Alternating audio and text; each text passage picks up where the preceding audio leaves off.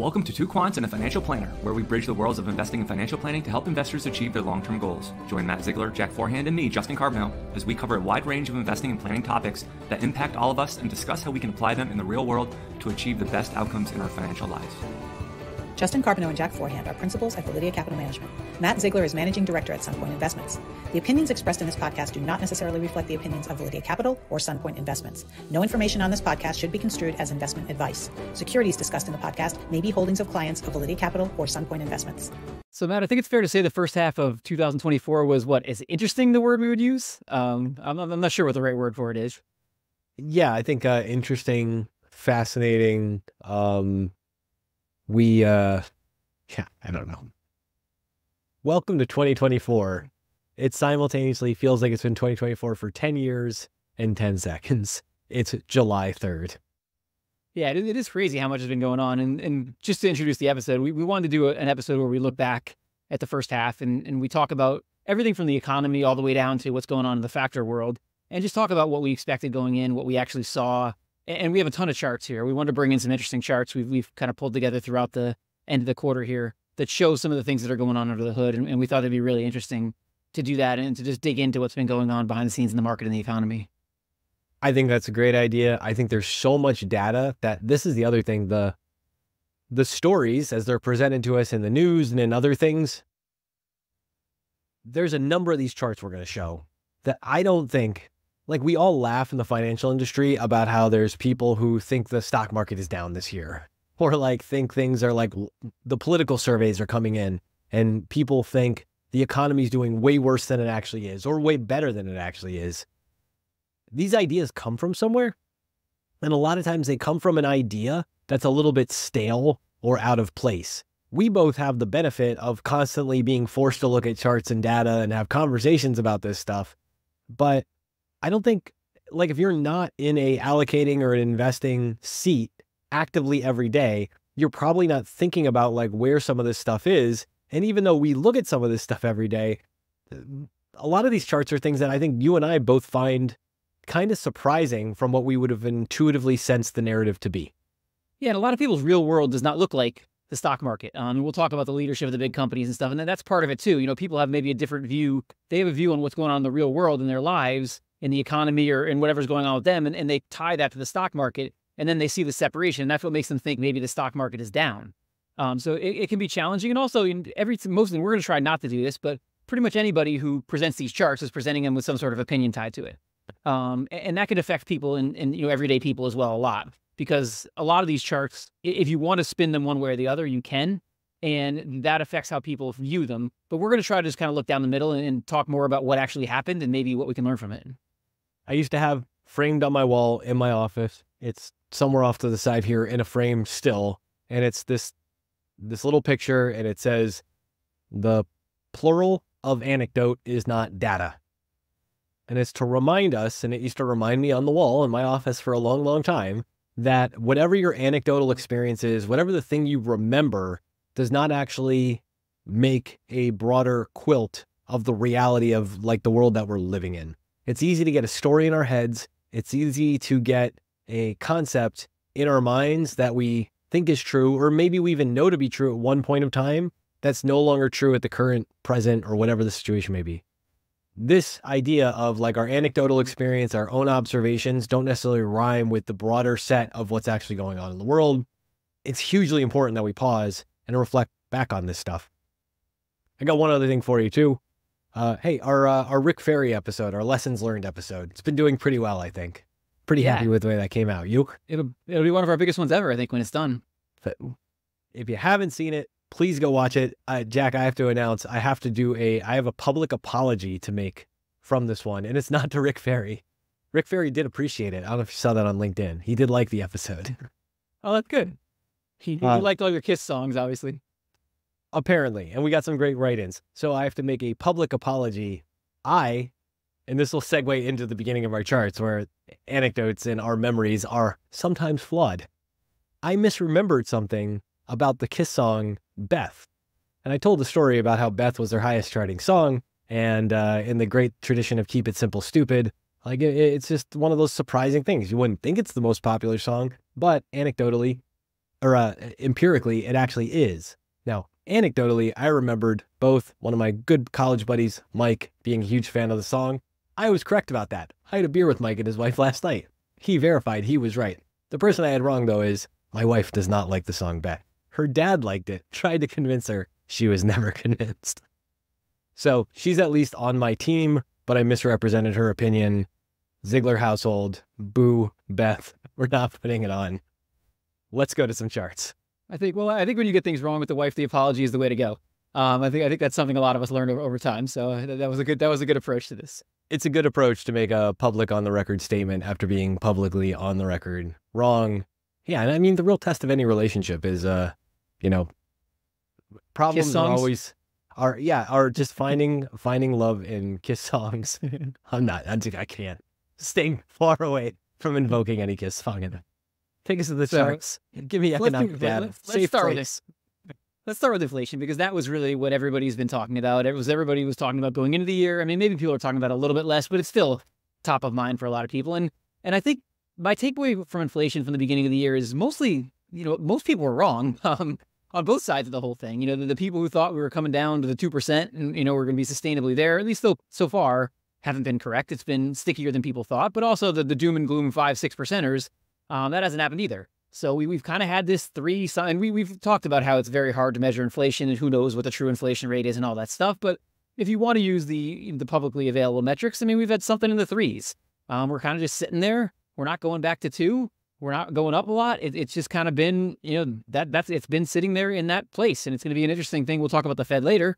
It's an interesting place to be because you you are above the target. It's not some horrible, awful thing.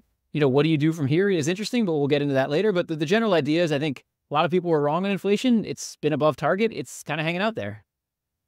One of the big things with inflation that we're still hearing a lot about, and whether it's the throwback memories to eggflation, what, two years ago, if it's the throwback memories to just like whether it's gas at the pump or the groceries at the store or the cost of medicine, a lot of people still feel like, and here we are getting into the prime of election season, where the cost of living is just, the cost of living is just too high a way to track back against this, and this gets into this graphic. So first off, the Fed cuts didn't materialize.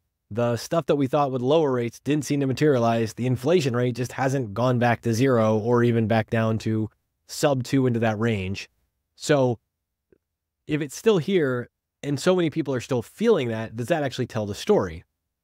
So with this graphic, one of the things we're seeing here that's really, I think, important to zoom out on because it's counterintuitive is to look at ways to map uh, wages and wage growth against actual cost inflation.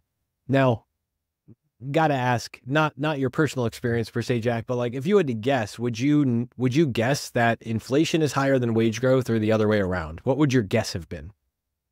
Over this period, or over history, or over what? Uh, why don't you just say like over the last like year or two? Yeah, well, actually, I was just listening to a podcast with uh, Jeremy Siegel, where he was kind of saying, I mean, he was saying basically they've been about the same, but uh, we'll, we'll see what your what does your data show? Yeah, what the the data shows, and again, your experience is going to be different than what the data says. There's no average worker, there's no average inflation rate, but this idea here is that we're actually seeing wages and wage growth has actually been above inflation for probably about the last year. And actually, if you base these numbers to zero, there's some data that shows over the last two years, it's actually been pretty good. We felt the pain of inflation back in like 2021 and as we got into the pandemic, really, we felt inflation outstrip wage growth for a period of time. That has actually declined.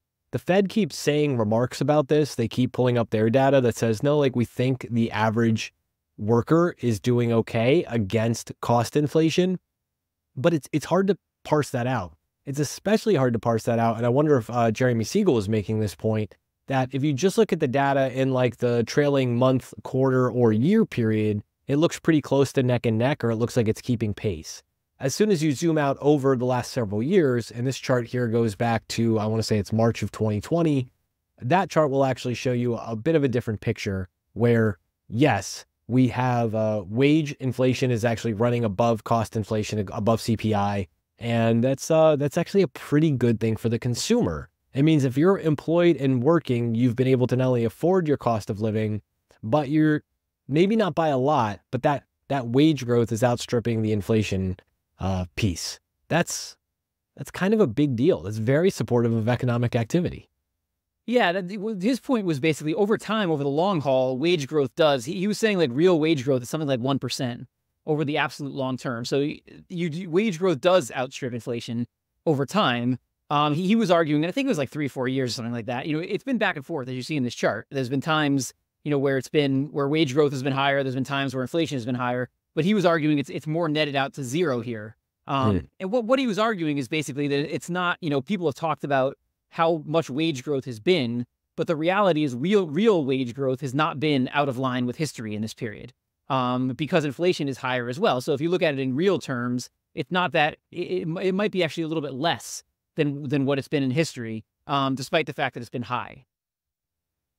It's really interesting. It's really supportive of economic growth and the economic data because if people are gainfully employed, and I say gainfully here as on average getting raises, those people are spending money. If the money they spend is more than the amount that the costs of things are going up, we tend to have positive GDP growth. We tend to have positive economic activity, and it's hard to have a recession. So this was a really powerful and kind of eye-opening chart. And again, usually we see this chart and it's only, it's a year at most. We look at wage growth over the last 12 months, or we look at CPI over the last 12 months, sometimes even shorter periods, and then we annualize the number.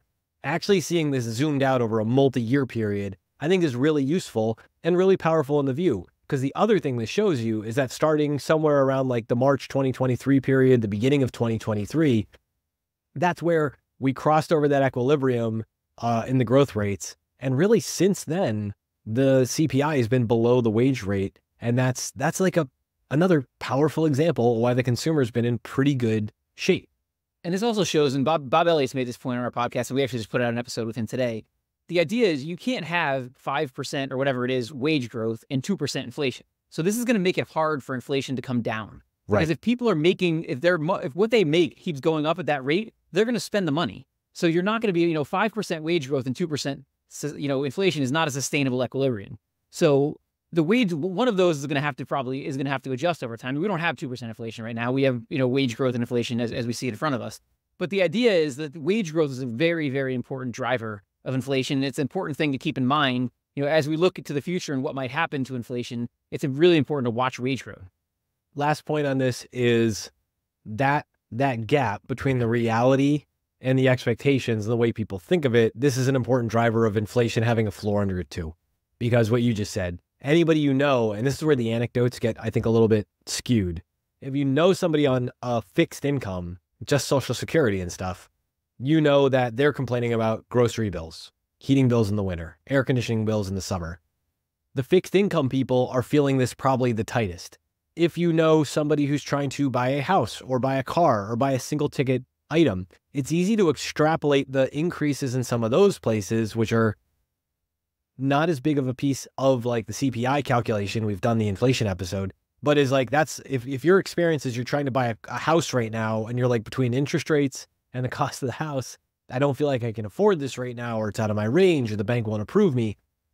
There's all these pockets that make us feel another way spending that money and feeling like we have to spend that money because like what good is it to wait because everything the price just keeps going up and up and up? That supports prices too. That's inflationary. Let's jump to our next chart. Jack i've been asking this. My, my poor little retirement account with its small cap value exposure. Where are the small cap value returns i was promised? First so, trust, what say ye? you can look at this is a great chart you sent to me, and, and you can look at this in two ways. You can look at this as a reason for so what we're seeing here is the performance of various things. It's I'll, just read off the chart. Average real returns during years when inflation is greater than the median, and inflation is going to be greater than the median this year. At least it seems like it. Uh, again, people will argue if you change the metrics or whatever, but this is based on the actual CPI, so it's probably going to be above 2.7 percent this year. So you could look at that as reason for optimism. Um, if we continue having these high rates of inflation, small cap value is going to come back. But you also could say what, which is what I've been saying to myself and what you just said, which is where are my returns? Um, because my small cap value stocks, you know, 12 percent is the average real return during these these periods, and they have certainly not been at the top of the list. Um, and you can see other things like large cap growth stocks way way down the list, um, despite this year being at the absolute top of the list. So there's not a ton to talk about with this, but it is interesting. I thought this was interesting data to look at, and you know, hopefully we'll look at it in the positive way. Hopefully this is a sign um, that some of this small cap value stuff might be doing better in the future um, if we continue to have above median uh, inflation. I'll say this too, and quick shout out uh, Lee Bodoris. That's uh, my director of research at Sunpointe Investments. Lee's great because Lee's always gathering these charts and insights. He does a whole series on LinkedIn, does a chart of the week. A bunch of these charts came from Lee's thing.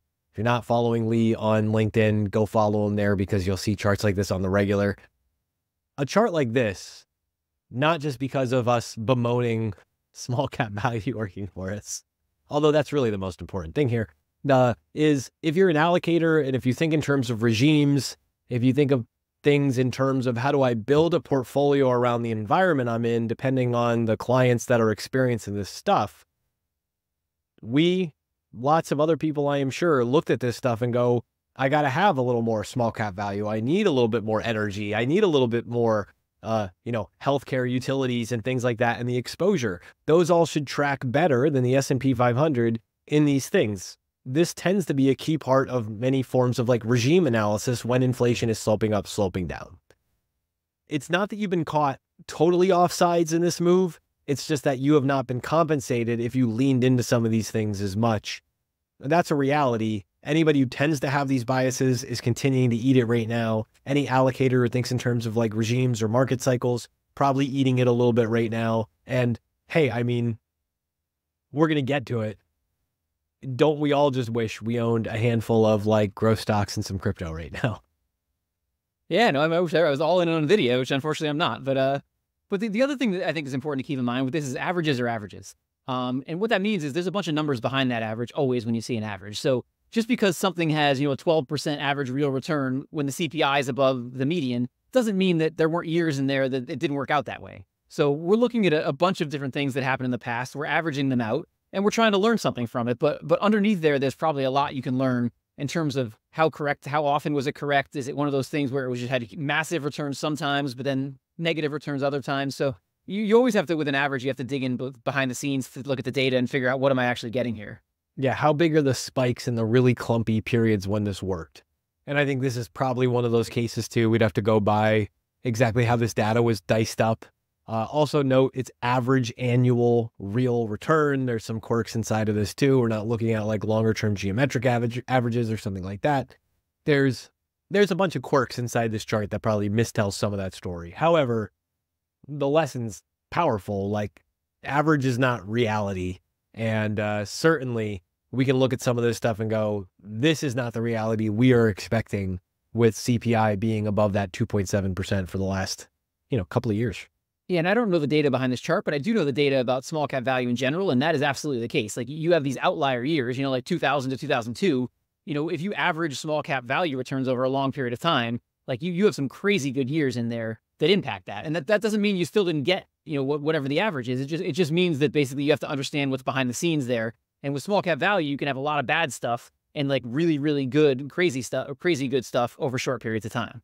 Right. When you have a couple of like 50% years and then you once you start to stretch that out over 20, 30, 40, 50 years with a bunch of zeros and drawdowns and other things in there, the magic of math.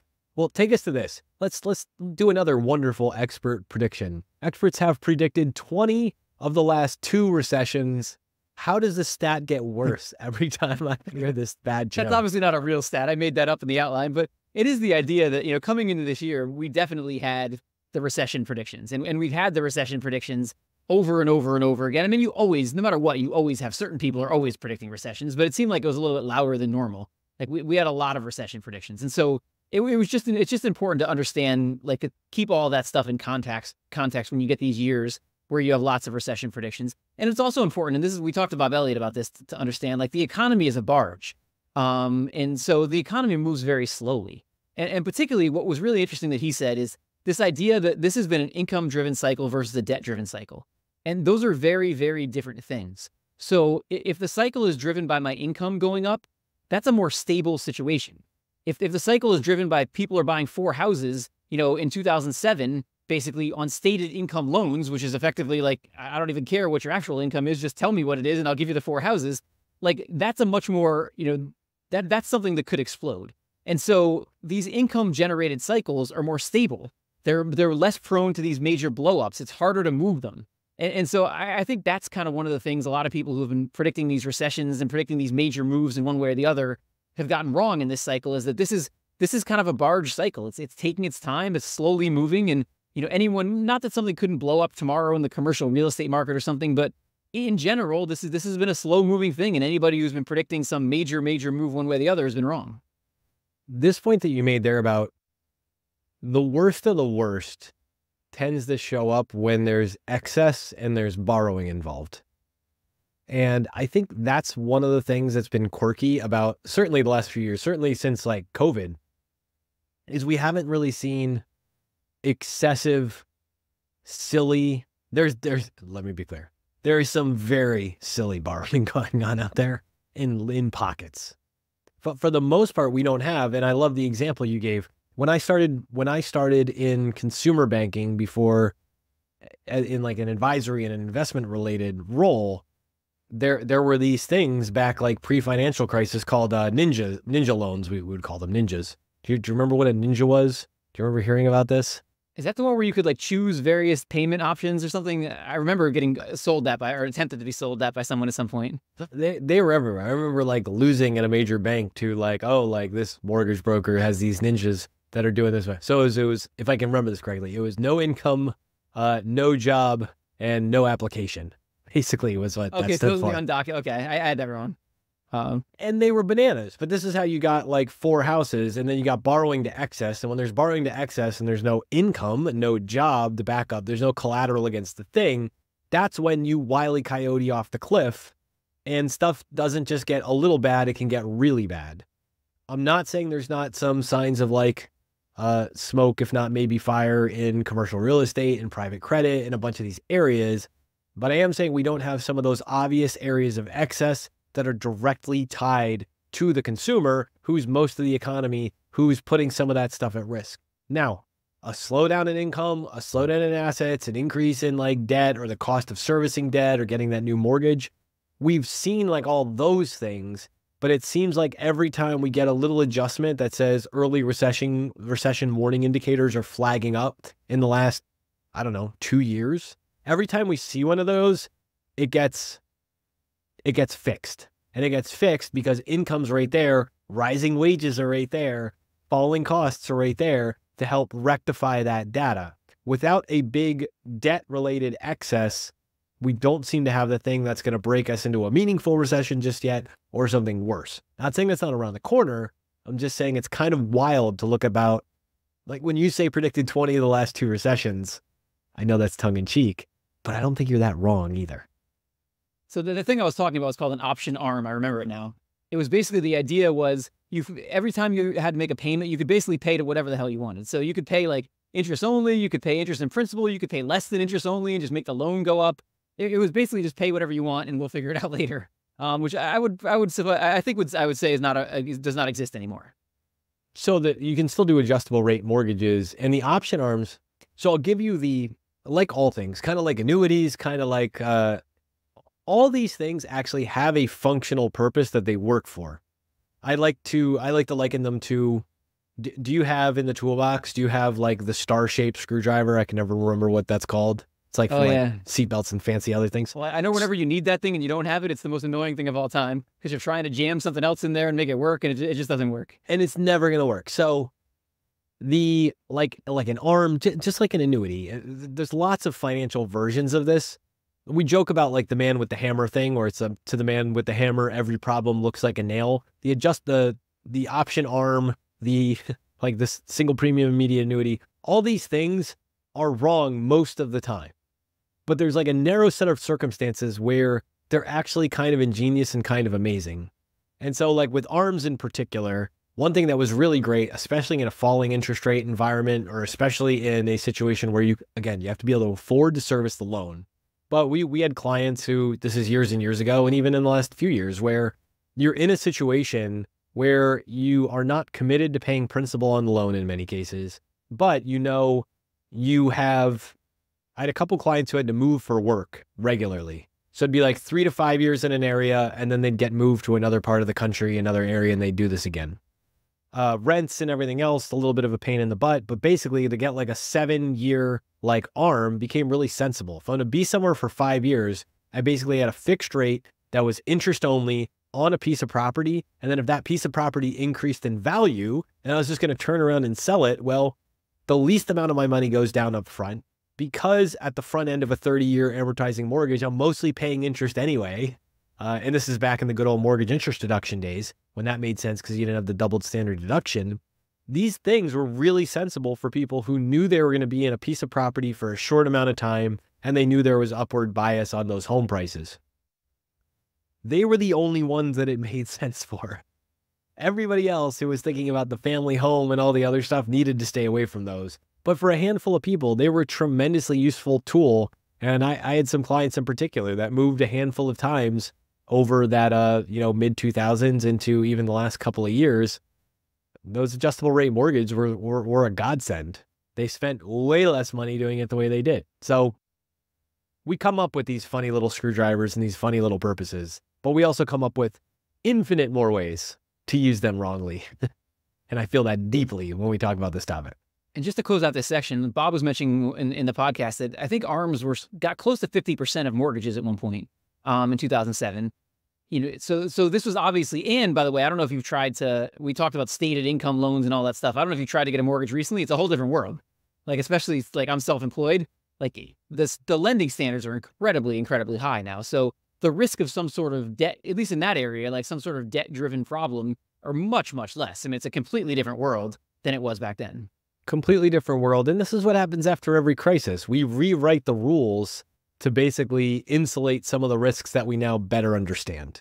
And that's one of those things. The appetite for that stuff, getting the effectively the insurance for the major banks from, you know, the central government on this stuff. Like there's there's things, there's lessons that are learned. They're just not learned in ways that people often feel like is satisfactory, but it it just shifts the risk to somewhere else in the system. We'll find another way to blow ourselves up. It's sad but true. It's coming. so let's touch on we're not going to be Fed watchers or Fed predictors here, but uh let's at least touch on the Fed because it, it was interesting. I mean, we had what seven cuts predicted coming into the year.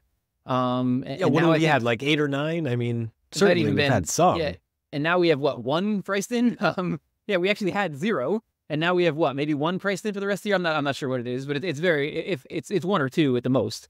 Um, Calendar so year futures are pricing in, I think, one right now, which is a big change from where we were coming into this year. Yeah. So the, the Fed saw the data, you know, it was stronger than expected. The Fed has, you know, didn't, didn't pivot in terms of increasing rates more, but it just kind of sat there. And, and this, this to me is the, the big takeaway from the Fed for the year is Bob Elliott talked about this is the Fed is both backward looking and slow moving. Um, and so the Fed is not like using these predictive models to determine what's going to happen in the future and adjusting their policy based on that when what what they're seeing on the ground now is different than that. That's not like they cover themselves. They have to justify themselves to lawmakers. It, it's a very, very different world they operate in. I mean, I know a lot of us say, well, why can't they use more real time stuff? And why can't they use predictive models? And you know, maybe their predictive models would be worse anyway. But the, the Fed is very, you know, the Fed see, moves when they see compelling reason to move. Um, and we kind of saw that with inflation. I mean, they moved later than a lot of people thought they were going to move up. And they're probably, you know, if you look in the history of when they have to cut, they typically don't have, you know, as much as we would love to have, you know, the soft landing with the 25 basis cut point cuts all the way along the way. That's not usually the way it works. Usually the way it works is something goes horribly wrong. You've got the 100 basis point cut.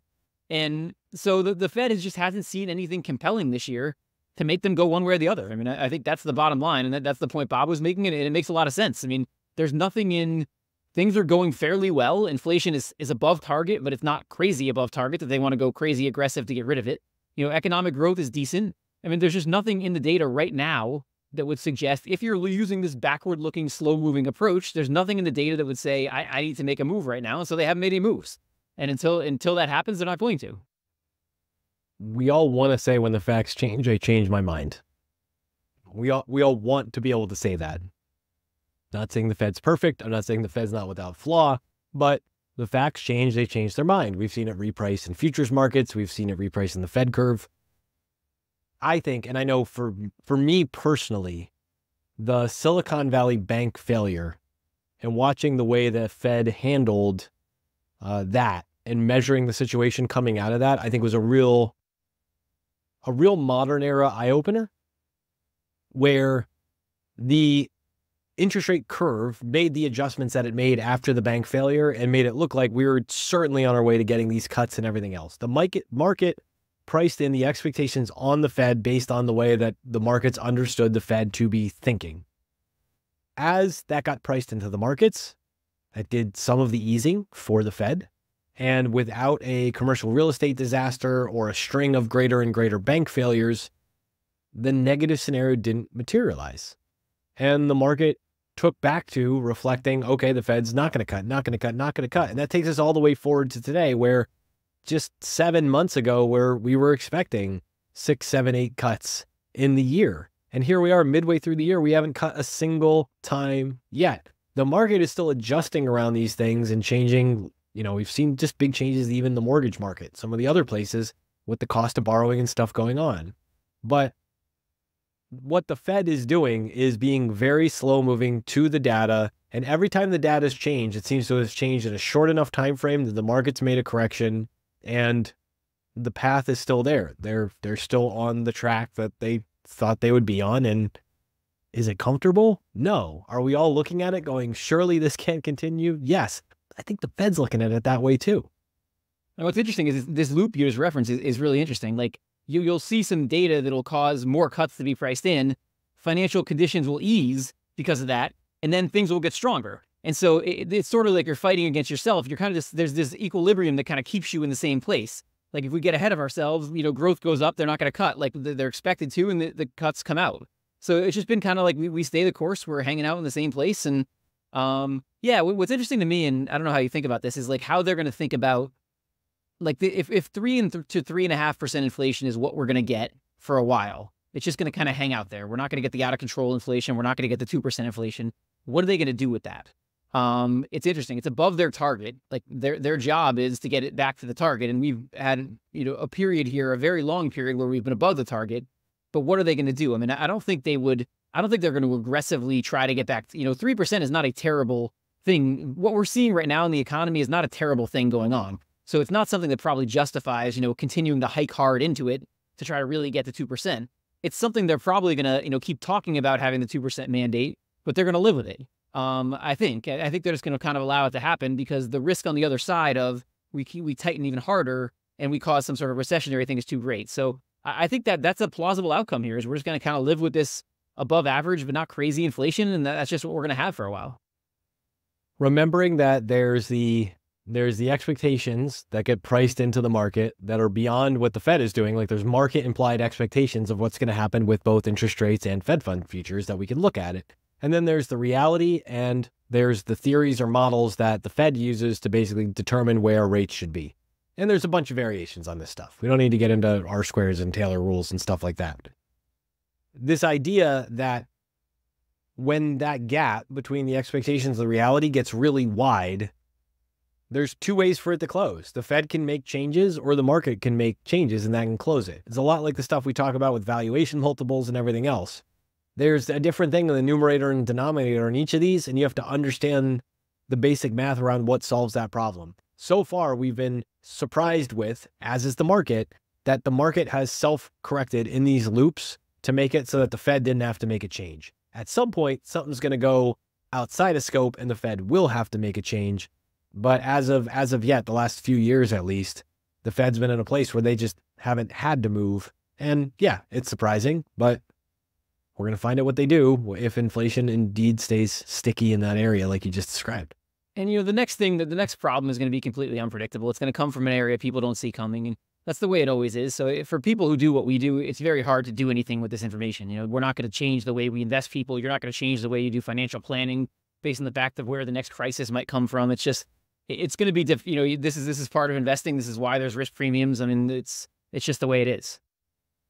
Yeah, and I mean, I know exactly what's going to happen, but I, I can't tell you. So yeah, you, yeah, I'm, I'm, sure you've put on your positions uh, behind the scenes in the options market to uh, profit from yeah. that. So you don't want to, you know, you don't you don't need me front running you over there. The um, the whole YouTube podcasting thing. This is just a ruse yeah. from my uh, spaceship on my private island in the Milky. Yeah. Uh, let, let's talk about housing a little bit. This is uh, this is a wild. This is a wild chart. I think anybody who has a mortgage, we don't often think about back to like anecdote, the plural of anecdote is not data. We don't think about ourselves as that instance of the broader reference class with these mortgages. I'm sure, and you know, we've all been through this. Anybody who's been a homeowner, Jack, did you did you refinance because of rates at all in the last I don't know ten years? Not in a while, yeah, in the last ten years, definitely. Um, yeah, I mean, it, was something for a period of time way back you were doing fairly regularly, um, because rates rates just keep kept coming down, and it was justified. So it was something that was like part of. It's interesting, like I, had like a I knew the mortgage broker pretty well, like back in the day. Like it, you you knew him well enough because you were refinancing enough, and it's like if you think about that to today, it's it's quite a change. Like I haven't spoken to a mortgage broker in a really really long time, and I probably won't be. And you probably won't be because of where rates are. This internal comparison thing of like, am I getting a deal? Should I be talking to the mortgage broker? Are there mortgage brokers cold calling me or cold texting me or whatever 24 7 today? The answer for most of us is no, because the refi activity is actually lower because rates are higher. So you don't want to refi to a higher rate. The purchase activity at higher rates go gets more stressed because it's harder to qualify for a mortgage. And the desire of people to like sell that house. So the, you know, the mansion that got refinanced four times, or not even the mansion, the suburban middle class home that got refinanced four times when rates were lower. Those people are going like, okay, well, I could sell the house, I could get a little more money for it, but then I got to turn around and buy something else that the value's gone up by, and I'm going to get rid of my 3% mortgage and I'm going to go in at 8% to start over, even though I'm 65 years old and whatever else. Seeing that as a, seeing your situation in the broader reference class is really important. This is a really important planning concept. I want to read this direct. Uh, this is Lee Bodoris commented on this again. Follow him on LinkedIn for stuff like this on the regular. So he showed this chart and he said with it, uh, as of the end of last year, 46% of mortgages were 4% or less. 46% of mortgages were below 4%. And another 17% were between 4 and 5%. So we're basically getting to the point where like 60% of mortgages at the end of last year were sub 5% in yield. And that means homeowners who bought or refinanced homes before rates started to rise often feel stuck and if they were to sell their home and buy another, their new mortgage rate would certainly be above 6%, in many cases, likely closer to 8%. Therefore, these homeowners are less likely to sell unless they need some form of economic or for non economic reasons. It reduces supply, and without new supply, prices increase as a result. And shout out to everyone's economics 101 teacher because new supply, of course, depends on three key tenets of real estate location, location, location. Rates suck the breakdown of rates and who has what's rate, what rate at what price from what period of time has changed the housing dynamic. When people look around and say post COVID, how is stuff not adjusted?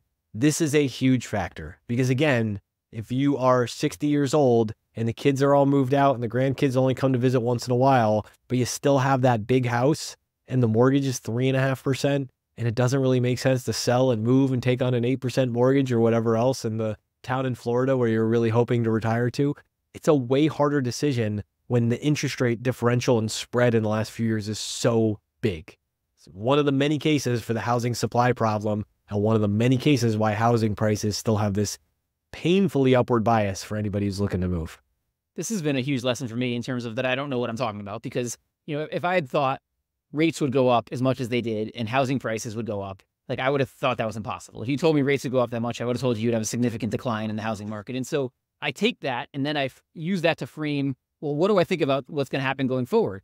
And basically, I have no idea because I, I would think if you know if we did, first of all, you have to predict what rates are going to do, and no one can do that. But let's say rates did go back to five percent or you know something like that. What what would happen to the housing market? I mean, I would think there'd be a lot. It would unlock a bunch of demand, and prices would go up even further. But is it also going to unlock supply? All these people who haven't been selling are now going to sell and maybe that's going to offset the demand or counteract it to some degree. I mean, it's just I've learned that I have no idea what's going on with this. I mean, this this is something I never would have thought of. But, you know, it's something I would have told you there was probably, you know, if you told me rates were going to go up that much, what what are the chances housing would go up? I probably would have given you ten percent at the most, um, probably less than that. So obviously, I don't know what's going on, and you know, when you have this weird dynamic, it's going to be it makes it hard to predict what's going to happen in the future because you know people ask all the time, you know, what should I do with my house, and you know, what do you think is going to happen with rates in the future, and what's going to happen with the housing market, and I think this this demonstrated to all of us that this is a really really hard thing to predict, and even the the best experts got this wrong. I, I didn't see I saw very few people when rates initially went up saying this was going to happen, if any. Um, so it just shows we don't know. Um, it's it's a it's a dynamic market. There's a lot going on, and and who knows what's going to happen going forward. This one, and again, seeing it depicted this way in this graphic, that basically two thirds of mortgage have two thirds of mortgage holders have no incentive to make a change here. They don't have incentive to go out a new mortgage at a higher rate. They don't have this, an incentive to refinance the existing mortgage. They have all the incentive to just sit there unless there's a non-economic reason for them to do something about it.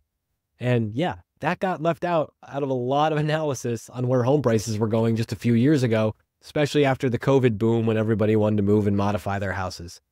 Fascinating piece of data. And also just a reminder, like you just said, makes it so hard to predict. Never forget the location, location, location. You got to make decisions in real time in the market that you're in for what serves you and in many cases your family the best way. That's can't tell you how many of those financial planning conversations I've had in the last 15 years of this job.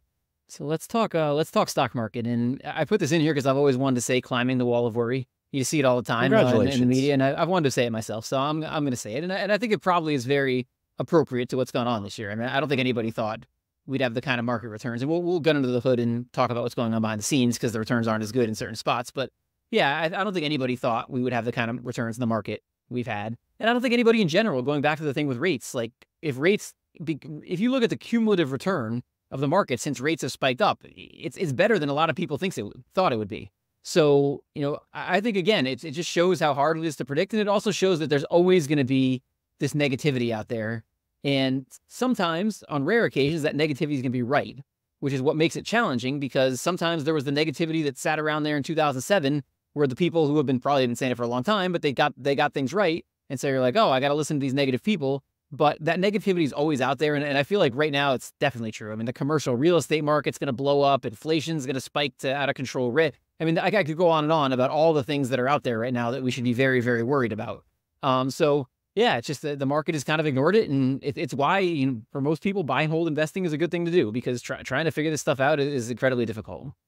Incredibly difficult and incredibly painful. I always wanted to ask this. You always wanted to say climbing the wall of worry. I always wanted to know what the opposite of that phrase is. That's are a good we, question. Are we like jumping off the cliff of joy? Like, what's the opposite? Sliding of down the slide of uh, despair or something, or I don't well, know. no, because it has to be the opposite of despair. like it's, um, yeah, like climbing. I don't know. yeah, yeah. I've been thrown out the window of um of bliss. Like, like yeah. Who knows?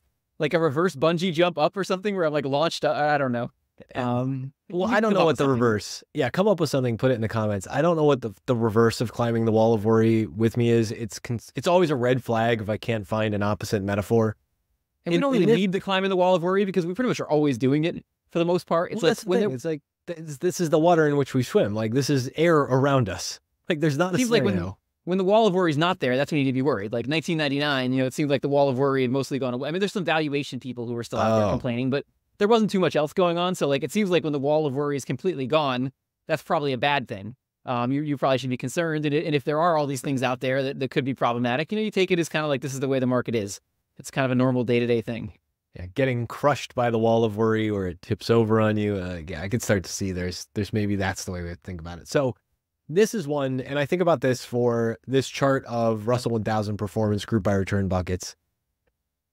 Stock pickers, I'm sorry, it's been hard active fund managers, individuals with a personal account. It's been really friggin' hard out there. The amount of stocks when we break out by return in the markets for uh, who's basically getting the market return and or better. Jack, you want to just explain just how narrow the success rates have been? Yeah, well, this is interesting, and, and I've learned from Huberman that I shouldn't be doing math on, on live podcasts because uh, things could go wrong for me. But I believe red flag uh, wrong. I believe 44% of, uh, if I've added those up correctly, 44% of, of stocks in the Russell 1000 were actually down, um, which is, you know, you think about that. I mean, it's a, it's a 15% plus year in, you know, the S&P 500 and a little bit less than that in the Russell, but still, a, you know, in the Russell 1000, but still a, a really good year. Um, certainly a 10% plus year. And 44% of the stocks have been down it just it goes to the divergence of the whole thing. And you know, your experience as an investor, and going back to what we talked about at the beginning, is your own experience drives a lot of this. Your experience as an investor has been very different. If you are, let's say you're a Mag 7 person who has like huge positions in those, or you're an index investor, or you're an equal weight investor, or you're a value investor, like as you work down that, you know, that hill, basically the performance has gone down as you get further and further from those huge companies. No matter what you've done for the most part, and we'll get the factors later, but it hasn't worked. So it's been, it's been a challenging market. It's been something where you're like if you have clients who just sit there and you know follow the S&P 500 and don't really pay attention to what's going on, they see you know a pretty good market going on. Like people who are in the weeds, people who have these portfolios that deviate from the market, they see a very different market going on. So it's it's been very interesting. And you know, we thought we had that big run in value, and we did have a big run in value for a little bit, but now we've kind of gone back in the other direction, definitely.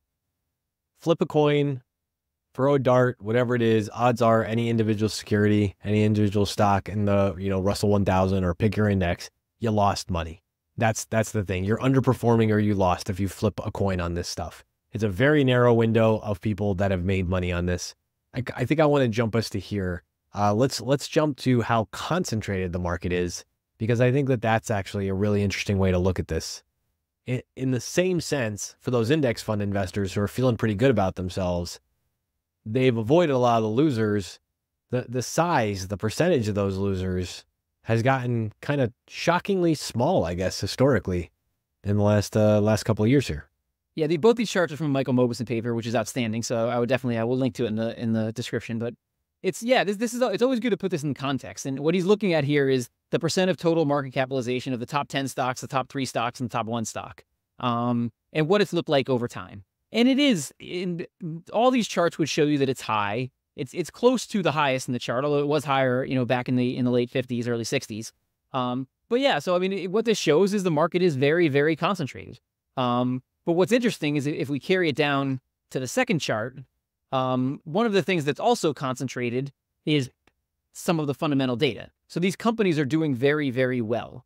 This is, to me, is less like 1999, where you had a situation where you had concentration going up, but a lot of these companies weren't backing it up as much as they should have, um, you know, with their actual results. You had a lot of multiple expansion going on. You're getting multiple expansion now, but if, if you look at that second chart, um, if you look at how much the top 10 contributes to economic profit in, in 2023, it is a very big number as, as a you know as a percentage of the whole thing. So these companies are killing it.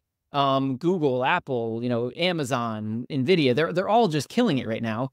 And whether that'll continue is beyond my pay grade, but definitely there, there's an argument to be made that this is different from other periods we've seen in the past because the results are there behind the scenes for these companies. I want to ask you a question on this too. And I, I just think this is, it feels insightful, but I don't know what it is. Maybe we need to get uh, Michael Mauboussin on the uh, on the bat phone for this one. The the relative change. Because the other thing I look at this and I go, this is really interesting. 2021, 22, and 23, the contribution from the rest of the universe, like it's it's it's shrunk. And in particular, at least in the last two years, like that top 10 by market cap, like their contribution to economic profit, like it's continued to stage up. I'm not saying that this doesn't like it doesn't indicate a reversal, it doesn't indicate anything's wrong, but it, it does indicate like it's really interesting to me to just think about both the staying power in the top 10 by market cap and also that like the rest of the universe, like that's where the contraction's been. Yeah, I don't have an. I mean, I would have to. Michael would be the better person to ask about this because I don't have. I don't have any great insights into it. But certainly, you know, what's been going on for these big tech companies has been, you know, exceptional. I mean, it, COVID definitely played a role in this you know, people are using technology more. AI is going to play a role in this, although that really is not reflected in this chart because AI is sort of a thing for the future rather than the past. But yeah, definitely. I mean, these these companies have just been. I mean, think about what the role they play in our lives. I mean, all of us are touched by all of those companies in big ways. All of us spend, for the most part, at all of those companies in big ways. Even if you're not, I mean, you're probably not buying the latest GPU from NVIDIA uh, to put in like your closet or something. Yeah, I'm buying two of them. I got two. right. Apparently, these things are massive, so I don't think it's going to actually fit in your closet. But you certainly are buying a lot of things. You know, you're you're using things that are going to be driven behind the scenes by that. So, yeah, I mean, it's interesting. This this is something you see. You if you look at the top ten companies in the S and P 500 over time, and you look at them decade by decade, they almost always are different. And you know, I think about this a lot. Like, is it going to change this time? I'm not sure. Um, you know, I would think you would say that probably will change. There'll probably be these new tech startups we haven't thought of who will, you know, maybe it'll be OpenAI or whoever it'll be. Like other other companies will take over and be these largest companies, but by the same token, like it just seems like everything that's happening is giving more and more and more advantage to these companies over everybody else. Um, and so maybe this is the time that it's different, and maybe we're going to see them, you know, account for more and more economic profit, and maybe we're going to see them you know, get more and more concentrated. I don't know the answer to that. I mean, they certainly traded a big premium, you know, relative to a lot of other companies that are out there. You know, someone like me who's looking at fundamentals behind the scenes is seeing much more attractive values in a lot of other stuff other than them. But, you know, the problem with that argument is if they do exceed expectations, if it gets even, you know, more than people think it's going to be, then, you know, maybe they will. Maybe this will all continue. It's, it's hard. I mean, Michael Mauboussin's conclusion was not that this is some crazy, you know, if people want to look at that paper and find this is like some, this is some crazy bubble that's, you know, about to explode. I mean, that's, that's not the conclusion you get from the paper. You know, you, you get a balanced take on this, but you do get this idea, which is the second chart presents, which is these companies are representing a large portion of the economic profit of, of the market. And, you know, that that does justify to some extent what's happened. Now, whether they've gotten ahead of themselves is a different different discussion, but certainly there is a fundamental backing to what's going on here, and, and whether it'll continue is a tough question to answer. It's really interesting too, especially with it being so tech heavy, that what you go through after the tech bubble, where these companies are in many cases like the lowest contributors, but then paying for their woes, if you will, and then coming out of the great financial crisis and becoming the great engines of growth in our economy, there are broader cycles at play. And it's really fascinating to think about who evolves through what, how unpredictable this stuff is. And it feels like almost a good time that I should pitch you on my my AI closet startup that can hold more NVIDIA chips in the closet space in your home. Raise the value in your home. It's not a garage, it's an AI closet. Maybe, maybe when that gets funded, that might be the top. I'll I'll let you know. I'll yeah, let you know exactly. when we're raising. If you got VCs knocking down your door, it'll be like when dot com was putting the name in the late 90s and that was all it took. Uh, if, if, that works out for you, your closet thing, then that's probably time. It's probably hey, we've survived crypto in the name and we've survived AI in the name so far. So we'll see if the dot com wreck is still waiting. So this next chart is one you actually put in, um, and it, it's it's really interesting to me because it's just like if, if you cut the chart in half, not trying to predict what's going to happen in the future, but if you cut the chart in half, like we basically had zero periods of positive stock and bond correlation for a very long time. And now we've had three different spikes of positive stock and bond correlation, which to me would, would support the people whose argument is we're kind of in a re different regime now. You know, again, I don't know how it's going to play out, but we're in a regime now where this is possible. We were sort of in a regime where th this was not going to happen for a very long period of time. And you still have the periods of negative correlation, but we're in a regime where this is changing now. We're in a, we're in a regime where these spikes of positive correlation are possible. And, and it's interesting. We've talked in a lot of other episodes about what that means or doesn't mean for portfolio construction. But I, th that's what struck me is like if you just drew a line down the middle of this chart, you've got a completely different world on the right side of it than you do on the left. Yeah, pre 2020, you know, that 60 40 still at least gave you some times when it worked. There were a couple of pockets where you felt some of the pain, where you didn't get the benefits of diversification, but it was there. That's really, really important for uh, retirees that's really, really important for people who need a diversified portfolio to spin streams of either like income or distributions off of. It makes it a lot simpler to do because you have a little bit more dependability on the zigging and zagging of assets. So in a stock market downturn, I can sell some bonds. In a bond market downturn, I can sell some stocks. It makes those decisions actually impactful. What we've seen in the last few years, and again, it's it's coming in these cyclical troughs, they're just trending above zero for the first time. To your point, you could draw the line in that chart and see the difference.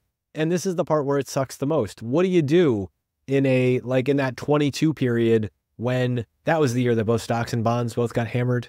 Yeah. Is that data right? Okay. Yes. So in 2022, when both stocks and bonds got hammered, if you needed to take money out for your required minimum distribution or to pay for stuff to live on, when both those things are down, you know, high single, if not double digits in many cases, that changes that equation because now you're selling at a loss. You're taking money away from the portfolio. See our 4% rule episode. This is the stuff that ruins those scenarios.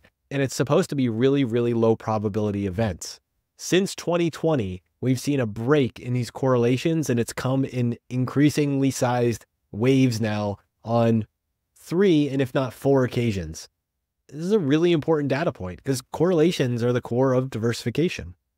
I wonder if this is going to, and you probably know better than me, like, is this, uh, if this continues, is this finally going to lead investors to maybe look at some of these risk parity, permanent portfolio type things or adding managed futures? I mean, a lot of that stuff is available now to your average investor and wasn't. And like, those things are good. You know, we, we, we argue you don't want to use those things to try to predict. So say like, well, I think inflation is going to spike, so I want to have those things. They're, they're more of an all weather thing. But what I would say is over that period we just went through where we had these three spikes of positive correlation, your ride was going to be much, much smoother if you had one of those things in place than if you had a 60 40 portfolio. So I wonder if that will lead more to more adoption of these types of things. If people will, uh, you know, think about that, the combination of them being more available, and also we're gonna, if we're going to be in this regime where you're going to see the, the changing in the changes in correlation between stocks and bonds, like will that lead to those types of things doing really, really well? I mean, I think there's there's a chance the, those types of things investors will embrace them more than they have in the past. I want to make this point too. I'm going to grossly oversimplify something and insult a bunch of people, but it's worth it. Uh, in when you're doing due diligence or other work, how much do you think people anchor on like three and five year numbers for performance? Way, way more than they should. Uh, I, I, don't know the answer to that, but it's, and by the way, this is not just individuals, this is also institutions, everybody. Everybody loves those very, numbers. very apparent in institutions and pensions, endowments, and other things with like long term money where you're trying to assess stuff against, especially against liabilities, not just your own personal ones. We are about to get and have been getting the solid three year numbers are now a year to two years in the books, and we're getting five year numbers on these things. The risk parity strategies, the other ones, some of those have had a harder go because vol's been so lumpy. But if you want to look at one thing that's now getting five year numbers and has everybody's attention because it's as a diversifier in the alternative space, here's your argument for uh, you were at a financial pl planning presentation not that long ago, Jack. What investment product got pitched to you like crazy in that in that session? Yeah, lots of different products, but everything was all about higher rates for longer. Um, that, that's basically higher inflation for longer, higher rates for longer. Everything, everybody was making that case and then pitching something that they had that they thought would do well in that period. More private, like private equity, private credit, things like that on the private side of the equation. Yeah, I would say that there was definitely some of that. Um, which, by the way, those arguments are not that strong, but nonetheless, yeah, there, there was definitely some of that going on. And this is the kind of stuff where those private diversifiers that get marked to market and don't have the same fluctuations that we've seen in stock and bond markets, this is a big thing.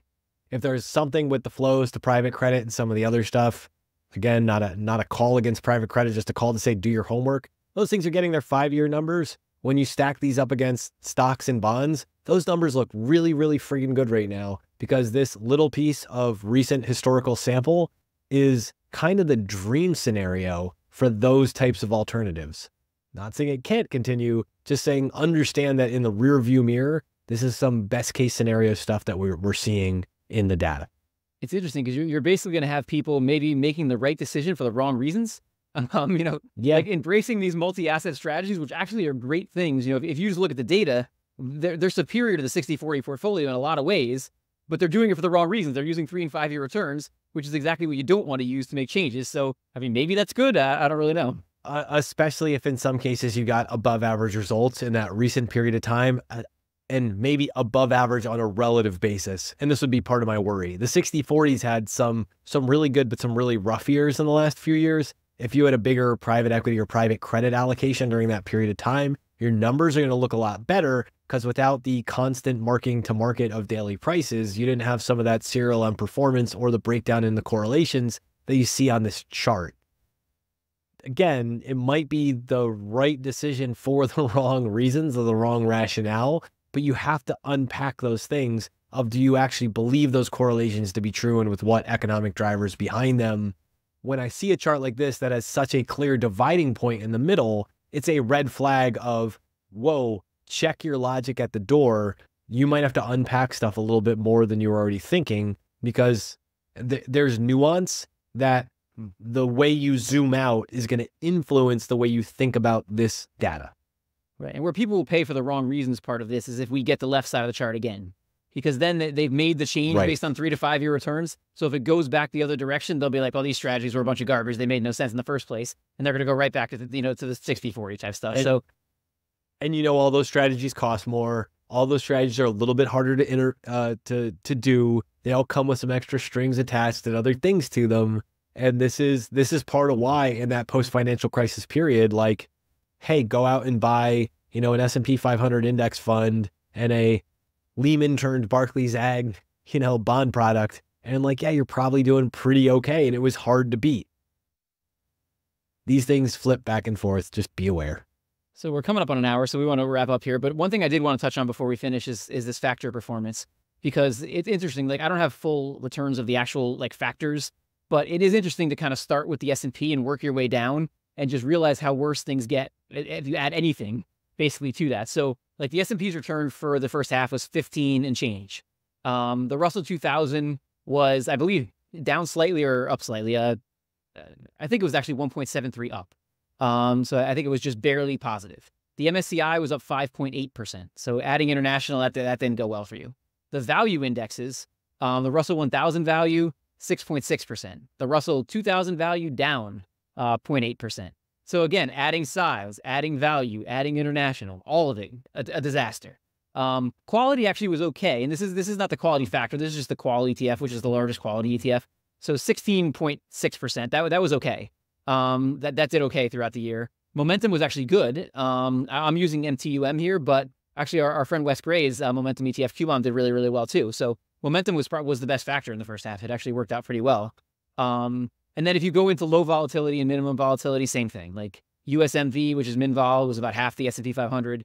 SPLV, which is low vol, was half of that, so a quarter of the S&P 500. So there was very little you could do in the first six months. If it, it was based on fundamentals in any way, there was very little you could do to beat the S&P 500, and that that's the continuation of a, decade-long story. Um, there hasn't been much you can do to beat the S&P 500. All, all these different factors or stock picking strategies, and you know, a lot of it is just detracted from your returns. The biggest companies have won, and who knows what that means for the future. But it, it's interesting after having a period where value did really, really well. I mean, a lot of these value strategies have very good three-year returns now. Um, we, we sort of saw a reversal in the first six months. Should have listened to Rick Ferri, man. We all should have listened to Rick Ferri. Well, he allowed he allowed for a little bit of the small value exposure, but the part you should have listened to Rick Ferri about is he also talked about if you're going to have it, have a 20 year time frame um, because right. it, these things are going to go through really long periods where they don't work. So if you're if you're looking at six months of returns, no matter what you're invested in, a factor or an active manager, like if you're looking at six months of returns and you're being like, I got to make changes based on these six months, like it's not going to work out for you. You probably should be an index investor or something. You know, whatever you're judging yourself against as a benchmark, you probably should be invested in that because you, you just you can't handle deviations. But it is interesting, and we'll we'll see what happens going forward. But yeah, I mean, size bad, value bad, quality was okay, momentum was good, low volatility bad. Um, most fundamental stuff was bad. So we'll, we'll, see what happens in the next six months. We'll do this again. But uh, yeah, it, it hasn't been a fun time for anybody using fundamentals. Well, may the may the large tech gods ever be in your favor, everyone. And the good news is, I mean, the good news is, is it's six months. It's six months. This is a blip. This is a drop in the bucket in the grand scheme of history here. But it, it has been a really weird last six months, if not last 18 months of all of our lives in investing in markets. And that's why I think it's really good. I'm really excited we did this series, uh, or we're, we're doing this series here, Jack, because we get to talk about just checking in with some of these charts and some of this data. And it's it's important to have these conversations in public. It's important to see these things and just check in with is what's in our brains actually what's happening in the world. Yeah, and even though we're not predicting anything, I think these these charts are all really interesting because they, they help us understand what's going on behind the scenes. And I, and I feel like everybody, you know, when you're more informed, when you understand what's going on behind the scenes, you make better decisions. So although we didn't, if you wanted the next great investment strategy, we didn't necessarily give it to you here. Um, I, I, think we have found some interesting things, and, and we're going to keep doing this going forward. You know, every every six months or so, we'll, we'll, collect charts throughout the quarter that we think are interesting, and every six months or so, we'll, we'll break them down and, and see what we take what we take from them. Sounds like a plan. Send your charts in, give us good stuff to do, and uh, you know when when my AI closet project gets off and running, I'll be back to pitch funding. I'll be I'll be your first investor. Okay, first. Um, Thank you for everybody for joining us, and we'll see you next time. Hi, guys. This is Justin again. Thanks so much for tuning into this episode. You can follow Jack on Twitter at, at PracticalQuant. You can follow me on Twitter at, at JJCarbonneau and follow Matt on Twitter at, at CultishCreative. If you found this discussion interesting and valuable, please subscribe in either iTunes or on YouTube, or leave a review or a comment. Also, if you have any ideas for topics you'd like us to cover in the future, please email us at excessreturnspod at gmail.com. We would like this to be a listener driven podcast and would appreciate any suggestions. Thank you.